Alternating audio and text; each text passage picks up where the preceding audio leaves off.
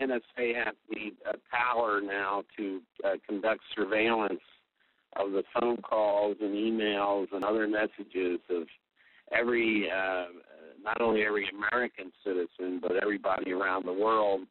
That uh, the people who provide oversight for NSA, that is the the Congress, the Senate, and the House of Representatives, now may find themselves in a blackmail position. That if they if they vote against uh, increasing NSA's uh, budget, that NSA might release uh, embarrassing information collected on these members of Congress to the media,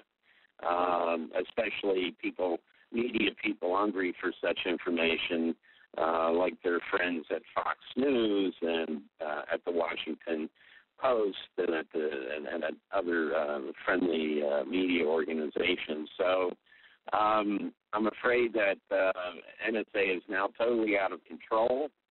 and the only way to stop what they're doing is to get rid of this agency. This agency should be uh, um, disestablished, and uh, whatever tactical uh, intelligence uh, is conducted uh, currently by the NSA should be uh, broken up and, and given to the individual military services, the uh,